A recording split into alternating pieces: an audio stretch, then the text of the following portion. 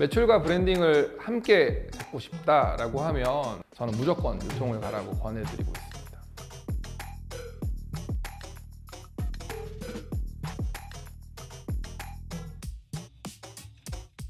안녕하세요. 16년차 MD 권순태라고 합니다.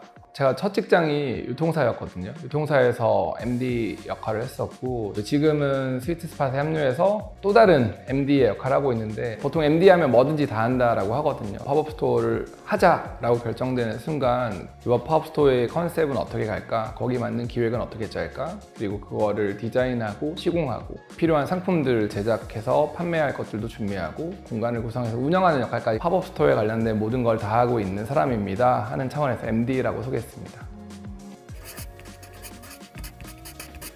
코로나를 겪으면서 영업적으로 확장이 좀 어려워지면서 다음 섹터를 어디로 좀 shift 할까 고민하는 상황이었고 유통은 말 그대로 계속 흐르는 거라서 팝업 스토어도 그렇고 브랜드도 상품도 1년 365일 계속 진행되거든요. 그래서 저희가 코로나 같은 위기가 왔을 때도 상시 흔들림 없이 뭔가가 진행되는 섹터가 어디일까 생각했을 때 유통이었어요. 대부분의 유통들은 어 약간의 형태들은 달라 보이지만 진행되는 그 속성들이 대동소이해요. 기본적으로 제가 그거에 대한 이해는 충분히 가지고 있고 중간자 역할을 저희가 너무나 잘할 수 있는 섹터이기 때문에 유통에서 많은 일을 하고 있습니다.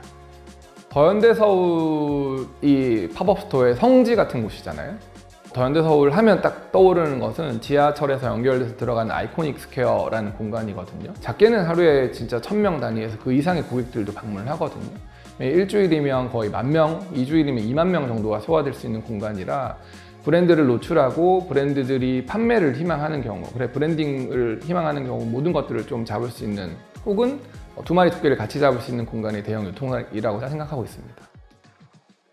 컨텐츠를 구성하고 상품을 준비하고 운영을 계획해서 들어오는 거 모든 걸 브랜드 혹은 IP사에서 진행하셔야 되는 거예요. 더 현대서울에서 전화를 많이 하세요. 우리 이런 팝업스토어를 유치하고 싶습니다 라고 하세요. 그리고 브랜드사나 특정의 IP를 가지고 있으신 분들이 그런 메일을 받으시면 되게 설레어 하실 거예요. 실제로 저희가 올해 연초에 만났던 작가님도 되게 더현대 서울에서 나를 불렀다고 어, 내가 여기서 팝업을 할 수 있다고 들뜬 마음을 안고 백화점을 찾아가셨대요. 백화점 담당자들이랑 미팅을 해보고 나서 현타가 온다라고 표현하죠.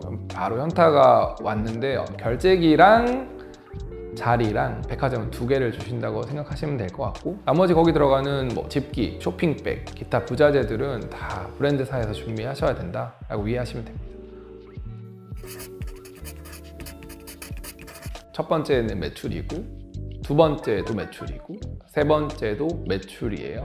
매출이 많이 나온다는 건 결국 많은 사람들이 방문하는 거고 백화점에도 많은 수익이 들어간다는 이야기가 되거든요. 그래서 사실은 백화점이랑 이런 대형 쇼핑몰들을 만나면 아마 1번도 2번도 3번도 늘 얘기하는 건 매출일 거예요 그 매출을 어떻게 만들 거예요?에 대한 다음 스텝으로 넘어가면 어떤 걸 판매하실 거예요? 얼마나 판매하실 거예요? 어떻게 판매하실 거예요? 어떻게 운영하실 거예요? 하루에 몇 명을 소화하실 건가요? 시간별로는 어떻게 할 건가요? 사전에 예약을 하실 건가요? 현장 대기를 하게 시키실 건가요? 하는 것들을 타고 타고 타고 내려가서 이제 팝업 스토어 구성에 필요한 요소들을 백화점에서 체크한다고 보시면 되고 제일 중요하다고 생각하는 건 1번, 2번, 3번 다 매출. 네. 보통은 뭐 RS라고 하는 게 revenue share 구조고 발생되는 매출액에 약정된 수수료만큼을 백화점에서 fee로 받아가는 구조예요. 성수는 사실 공간을 빌릴 때부터 적정 금액을 딱 내고 시작하지만 백화점은 팝업 스토어가 진행된 결과 성과 매출을 가지고 그, 들의 수익이 연계되는 구조다 보니까 별도의 비용들은 없고요. 스타필드 같은 쇼핑몰 혹은 교외에 있는 아울렛 같은 지역들은 판매 매출 수수료를 제외하고 일부의 비용이 발생되긴 하거든요. 포스 사용료라든지 아니면 다른 관리비 같은 것들이 나온다든지 하는데 우리가 흔히 얘기하는 백화점이라고 하는 공간들은 매출에 연계된 수수료 외에 다른 비용들은 발생하지 않고 있습니다.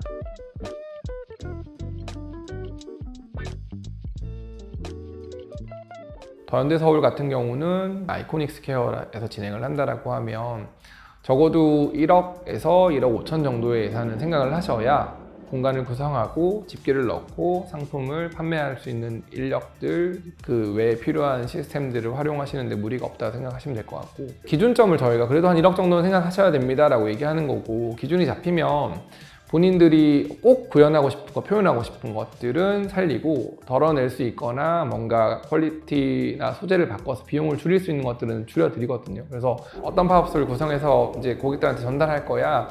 그리고 내가 여기 현실적으로 어느 정도를 타협할 수 있어에 따라서 낮출 수도 있고 늘릴 수도 있고 팝업 스토어를 잘 운영한다라고 하는 거는 스토어를 처음에 이제 저희가 기획할 때 생각했던 메시지들이 저희 현장에 있는 직원들에게도 동일하게 전달되어 있고 고객들이 팝업을 떠날 때까지 같은 메시지들이 동일하게 전달될 수 있으면 어, 정말 팝업 스토어를 잘 운영하는 회사다라고 생각할 수 있다고 생각합니다. 많은 팝업 스토어를 운영하면서 현장이 정말 안정적으로 운영될 수 있어야 어, 고객들에게 우리가 전달하고 싶은 메시지가 전달된다는 것들을 많이 체감했어요. 그래서 저희는 슈퍼바이저들을 별도 포지션으로 운영하고 있습니다. 팝업 스토어가 이틀 진행되고 3일 진행되고 일주일 진행되고 하다 보면 또 현장에 녹아들다 보니까 우리가 처음에 생각했던 걸 놓치는 경우들도 있어요. 그러면 이제 현장을 총괄하는 슈퍼바이저가 우리 원래 목표와 의도들을 계속 환기시켜주고 클로징되는 마지막 날까지 고, 우리 스탭들이 고객들에게 전달해 줄 수 있는 동일한 메시지가 나올 수 있도록 현장을 운영 관리하고 있다라고 생각해 주시면 좋을 것 같습니다. 우리가 목표하는 것들 매출의 최소한 두 배 이상 정도의 물량은 준비하셔야 된다라고 생각하셔야 됩니다. 팝업 스토어의 마지막 날, 마지막 날 전날의 팝업 스토어 공간은 어떨까 한번 상상해 보시면 아마 답이 나올 것 같아요.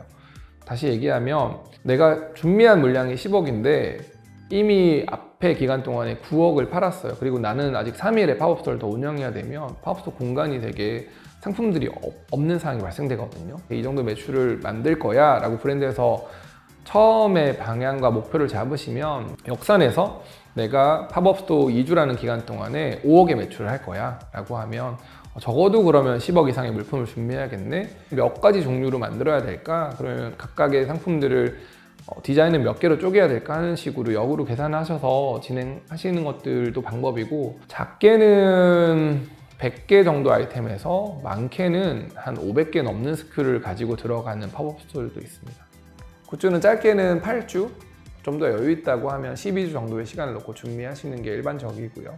다만 대부분의 우리가 접하는 IP들은 2D로 제작되어서 우리한테 노출되는 경우가 많아서 이거를 3D화해서 제품을 만드는 데는 좀 더 많은 시간이 걸려요. 그래서 봉제류나 뭐 이런 피규어 같은 것들을 만들고 싶다라고 하시면 최소 6개월 에서 혹은 10개월 정도의 사전 준비 기간을 가져가야 된다. 입체감 있는 제품들을 제외하고는 뭐 8주에서 12주 정도면 제품들을 제작 생산할 수 있다라고 생각하시면 됩니다.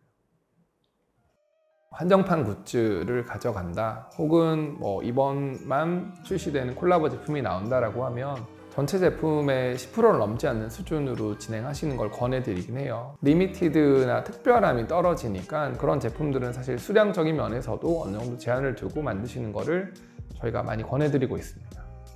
오픈할 때는 항상 full 세팅인데 운영 중간에는 제품들을 가득가득 채우는 것보다는 일부 공간을 조금씩 조금씩 룸을 두고 제품을 채우라고 얘기를 해드리거든요. 마치 고객이 어, 조금 전에 들어왔던 사람들이 몇 개 집어가고 남아있는 게 이거구나.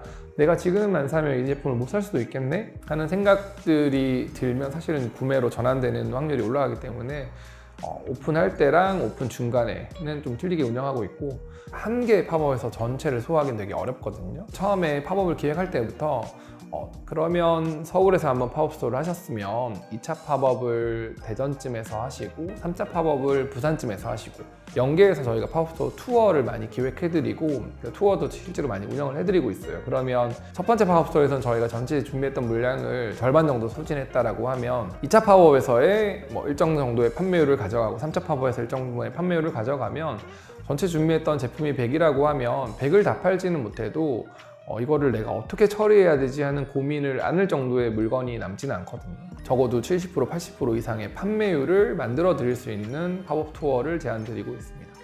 팝업 스토어 굿즈도 계속 진화해야 한다고 생각합니다. 시장에서 아크릴이라는 제품들이 되게 유행하고 있는데 예전에 1세대 아크릴들은 그냥 인쇄되어 있는 키링의 형태였다고 하면 지금은 뭐 키링의 옆에 있는 친구들이 딱 달려있는 키링 두 개짜리, 세 개짜리가 나온다거나 키링에 참이 붙어있는 제품이 나온다거나 두께가 생기고 그 안에 쉐이커들이 들어간다거나 하는 형태로 제품들이 계속 진화하고 발전하거든요. 고객들이 새로움을 계속 추구하고 거기서 뭔가 즐거움을 얻는 거에 맞춰서 계속 조금씩은 변화한다? 그런 변화와 트렌드는 예측하는 거에 대한 것들은 되게 어려운 일이라서 팝업 스토어 한 개, 팝업 스토어 두 개가 끝날 때마다 거기서 어떤 제품들이 판매됐고 얼마만큼의 판매율이 있었고 이전에 유사한 제품들의 판매율과 어떤 차이가 있는지를 계속 분석을 해요. 그리고 그 데이터를 기반으로 굿즈를 제작해야 되는 상황이나 뭐 이런 데 저희가 어, 다음 제작할 품목들로 제안 드리는 형태로 일을 하고 있습니다.